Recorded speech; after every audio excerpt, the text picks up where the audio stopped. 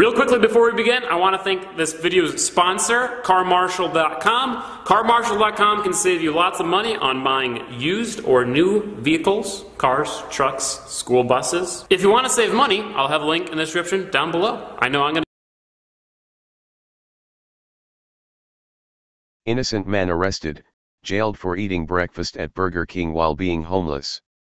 A homeless man was arrested after he was accused of using a counterfeit $10 bill at Burger King, and he was forced to sit in jail for three months until police realized the money was real.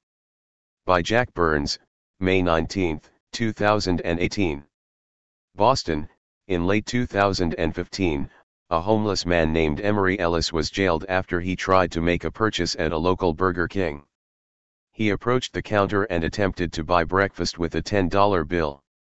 The cashier thought the currency looked fake, and called police. Instead of verifying whether or not the money was fake, police apparently assumed it was, and arrested Ellis. Because Ellis was on probation, the arrest violated the terms of his release and he was booked back into jail where he spent the next three months. It took that long before prosecutors realized the money was actually real and ordered his release in early 2016. Now Ellis is suing Burger King for discriminating against him based on his external appearances. Ellis attorney, Justin Drexler, said he believes Ellis was discriminated against because he is a poor black man, and he insisted that a rich white man would never have endured such humiliation.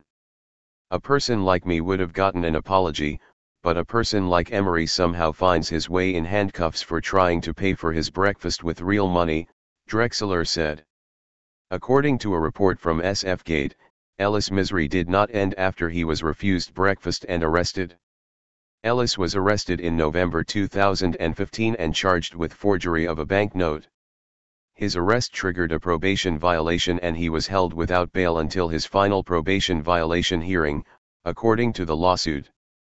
He wasn't released from jail until February 2016, when prosecutors dropped the forgery charge after the Secret Service concluded Ellis' bill was real, the lawsuit says. Ellis is now seeking $950,000 in damages from Burger King, which told the press it will not tolerate discrimination of any kind. The 37-year-old man would likely still be in jail had the Secret Service not confirmed the currency's legitimacy. His lawyer said it is a travesty of justice. Nobody deserves to be treated the way that Emery was treated, Drexler said. Ellis' story highlights several talking points demonstrating precisely what is wrong with modern-day policing, the judicial system in the United States, and the way society treats the homeless. Any cashier or law enforcement officer worth his weight in salt could have quickly visited the Federal Reserve's website on how to determine if a currency is fake. That didn't happen. Equally disturbing is the fact the man was held without bail. Ellis, being homeless, should have been allowed to go to his street corner and wait for a full investigation to have been completed before being arrested, especially since it was not conclusive that the bill was not counterfeit. But most disturbing of the allegations is the fact Ellis was left imprisoned a full three months before authorities learned what they could have discovered on the spot. The bill was real, a man was arrested, his probation was violated, and he was forced to spend a quarter of a year before anyone seemed to care. Ellis is not alone. Thousands of Americans have been accused of crimes, arrested, and jailed, without a speedy trial.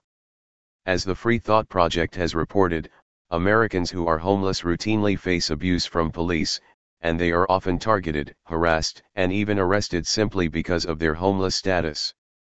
The system is broken and must be fixed.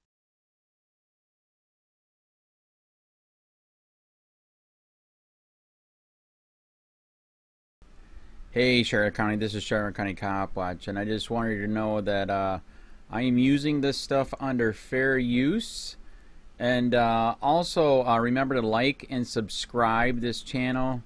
Uh, also, too, uh, keep in mind I do not make any money on YouTube. Uh, this is uh, five hours work a day. Uh, you know, fighting for freedom, and uh, I do. I you can donate with PayPal and Patreon. Uh, I just want you to think about this. If everybody gives uh, to PayPal and Patreon. Patreon is every month. Actually, PayPal you can do every month. I have 12,000 subscribers. If everybody gives, I can quit my regular job and go full time investigations on Charlotte County and possibly even more and beyond. So just keep that in mind.